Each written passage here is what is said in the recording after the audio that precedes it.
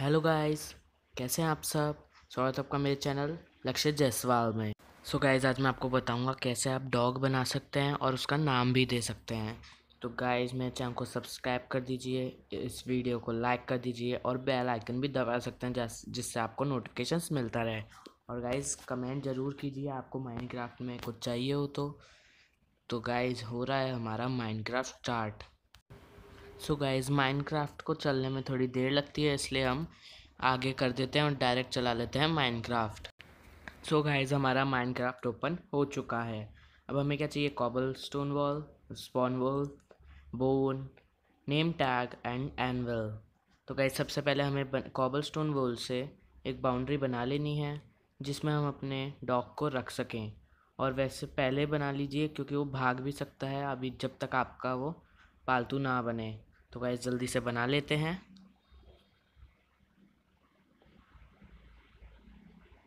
सो so guys थोड़ी देर में तैयार हो जाएगी।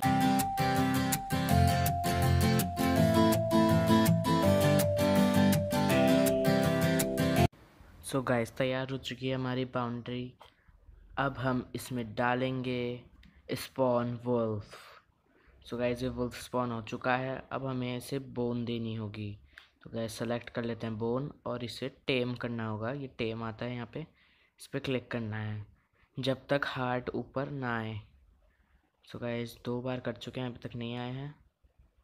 सो गैस देखिए हार्ट ऊपर आ चुका है। अब आपको, जैसे आप इस पर करेंगे, यहाँ पे सेट और स्टैंड आता है।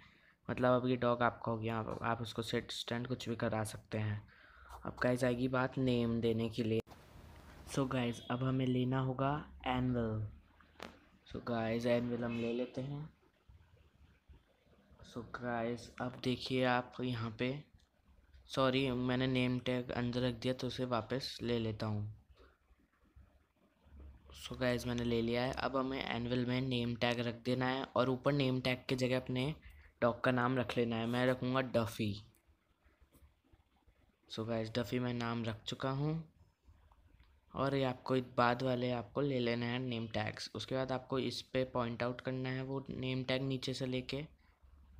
और या, उस पर नेम क्लिक कर देना तो गाइज़ आप पे आ जाएगा डफ़ी सो गाइज़ अगर आप इसको देखते हैं, ऊपर रख के तो इस पर भी डफ़ी लिखा हुआ आता है।